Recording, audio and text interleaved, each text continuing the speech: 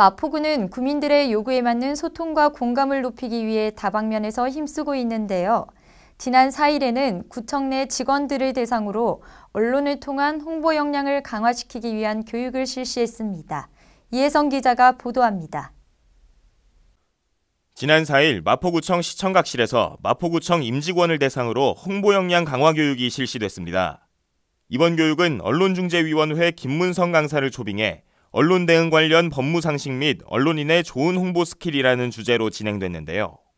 특히 공무원의 보도 경향, 대응 자료 작성 시 주의점 등 담당 공무원의 이해를 돕고 홍보 소양을 향상시킬 수 있는 요령을 공유하는 뜻깊은 자리였습니다. 마포구는 이번 교육을 통해 특색 있는 홍보 전략을 바탕으로 보도 매체를 효과적으로 활용해 국민과의 소통을 증진시킬 계획입니다. 마포투데이 이혜성입니다.